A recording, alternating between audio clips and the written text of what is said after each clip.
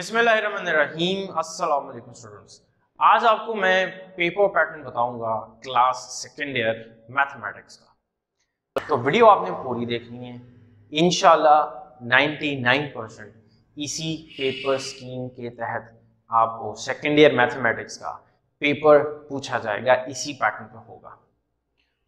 तो अगर आपको ये पेपर पैटर्न पीडीएफ फॉर्मेट में चाहिए होगा तो आप मेरी वेबसाइट विज़िट करें। आतिफ ब्लॉग डॉट कॉम पे।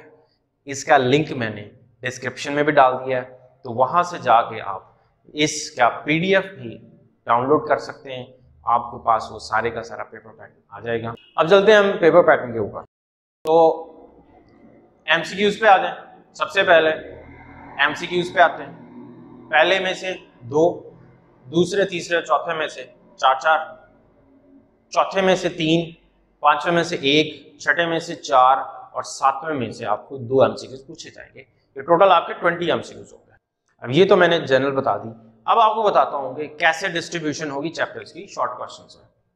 क्वेश्चन नंबर टू में आपके चैप्टर्स होंगे वन टू और फाइव इसमें से आपको ट्वेल्व दिए जाएँगे और इसमें से आपने एट शॉर्ट क्वेश्चन अटेम्प्ट करने हैं। क्वेश्चन नंबर थ्री में थ्री और सेवन में से होंगे। मतलब सात शॉट आप, सात शॉट आपको चैप्टर थ्री में से और पाँच शॉट आपको चैप्टर सेवन में से दिए जाएँगे। ठीक है? Question number four short question आपका चैप्टर फोर और सिक्स होगा। चैप्टर फोर में से सेवन चैप्टर सिक्स में से आपको सिक्स दिए जाएँगे। चैप्टर फोर में से सेवन चैप्टर सिक्स में से सिक्स थर्टीन शॉर्ट होंगे।